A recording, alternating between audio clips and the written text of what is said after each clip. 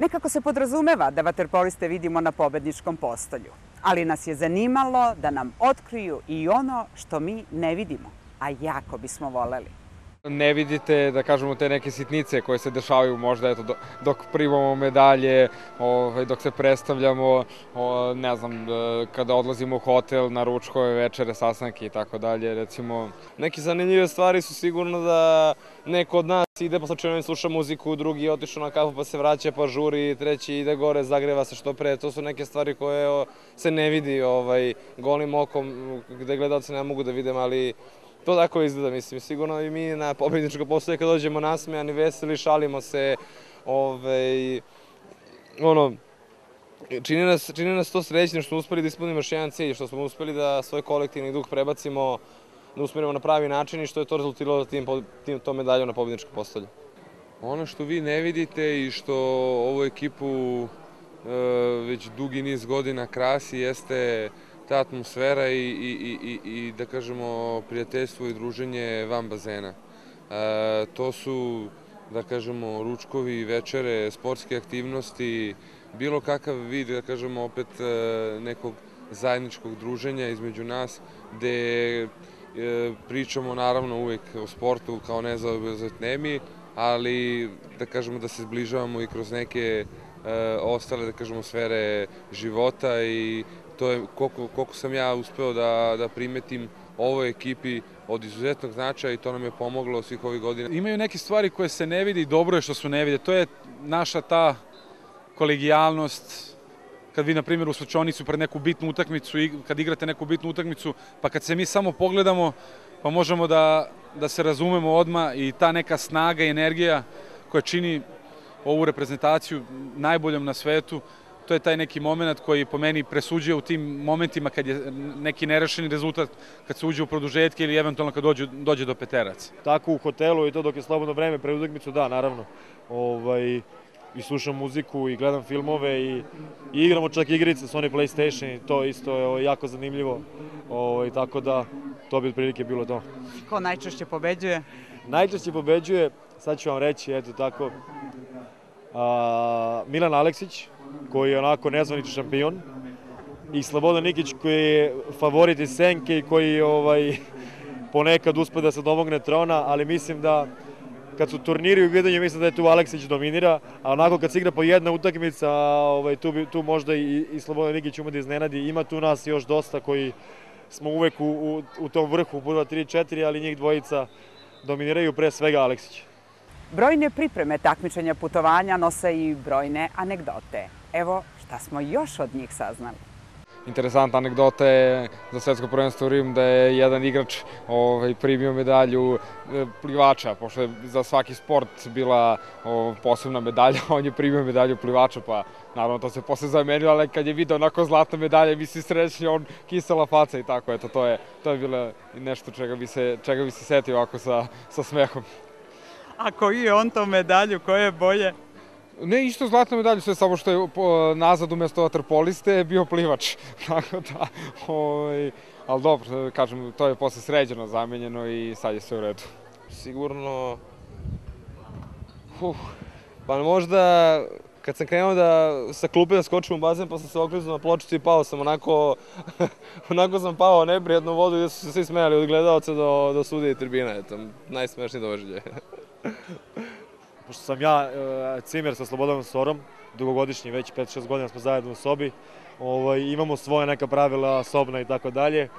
I ovaj, pred e, polufinalnu utakmicu u Firenci na Svetskoj ligi a, smo se probudili posle onog popodnevnog odmora obaveznog i sišli na recepciju, sišli smo na sastanak ekipe pred utakmicu. Bio je sastanak u 15 do 2, mi smo sišli u 15 do sad sam rekao karikira 15 do 2, recimo da je bilo u 15 do 3. Mi smo se probudili, ne znam kako, navili sat, sat vremena ranije, sve uradili sat vremena pre vremena. Sišli smo dole i digli smo frku ovaj, na recepciji tražili smo od onih hostesa i organiza, organizatorki da nas odvedu u salu gde se naši nalaze, gde je sastanak. One su pola sata tražile, mi smo već mislili da smo zakasnili, da smo sve upropastili, da je sve otišlo u nepogled, gotovo je, izgubit ćemo utakmicu, nema naših, nema sastanka, nema ništa. I onda smo pogledali sat i kao, u čovječe, pa mi smo poranili sat vremena, kao, ima još 45 minuta do sastanka. Onda smo posle dobro pričali i ostalima, onda je nastalo ono grokotan smek pred sam sastanak. Došli smo i kao momci, samo da znate da smo stražili pre sat vremena da vas nigde nije bilo. Tako da ovaj, su se svi nasmeli zajedno sa selektorom i to.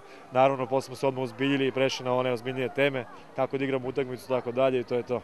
Nešto najsvežije onako, a ima toga, verujte, hiljade i hiljade tih malih anegdotica koje ja sad trenutno ne bih mogao da se setim.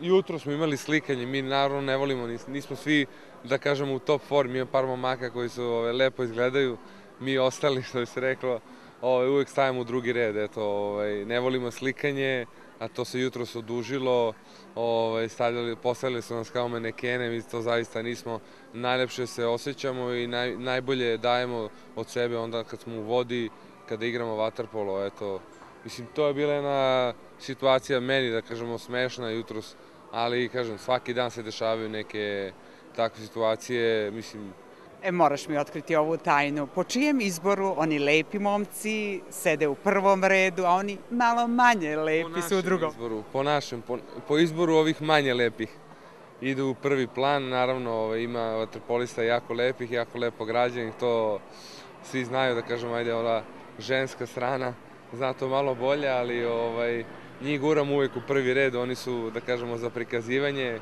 mi smo više za ovaj fizički rad. Znači li to da ste vi miljenici lepšeg pola i kako vaše supruge reaguju na to? Pa ja bih ostavio da, da, da to odluče baš, e, da kažemo, ženski, ženski rod, da odluči da li smo miljenici ili nismo. Naše žene su stigle prve, da kažemo, do nas i, i mi im dugujemo jedno veliko, veliko, veliku zahvalnost, jer su sve ove godine, kažem, bile sa nama, podržavale nas i, da kažem, izdržavale sve ove obaveze koje imamo, sa ovaj život koji je sve, samo nije normalan. Jedno mi se desilo da pred bitnu utakmicu sam se zaglavio u liftu pa me cela ekipa čekala na sastanku pa nisu znali gde sam. Ali na kraju sve se dobro završilo, mi smo pobedili tu utakmicu. I ima tako, ima dosta anegdota, mislim dešavaju se jer na tim velikim takmičenjima čak i veliki stres je u pitanju posvećenost tom takmičenju. Mislim, dešava se između nas, ima uvek neka šala ili... nam otkri neko. Pa evo, već sam vam rekao dovoljno. Mislim, ne bih znao šta da vam kažem neku sad tačno. Ne znam da li bi se drugari naljutili kad bi, kad bi otkrio, tako da bolje da, da to ostane za nas. Ko je najveći šaljivđija u ekipi? Pa ima nas dvoje, troje koji smo zaduženi za neke šale i za, za dobru atmosferu u ekipi. Mislim, to je Žile Gocić, moj kum, ja, Rađen, pa tu zna da se uključi i Vanja i, i momci iz Novog Sada, Dule, e, Rađen, Bane Mitrović. Ima, ima nas stvarno, imamo dobre, dobre su vibracije, imamo dobru atmosferu. A koga devojke najviše jure na takmičenjima? Pa na takmičenjima slabo koga jure zato što smo uglavnom osuđeni na hotel, autobus i na bazen i na karantin. A ovako kad smo u Beogradu stvarno se dešava, ovi mlađi, pošto sam ja oženjen i im- imam e, čerkicu, tako da ne razmišljam o tome, pokušavam da se isključim iz toga, ali ove mlade momke stvarno jure i, i vidim da im prija. Pa jel im date neki savet?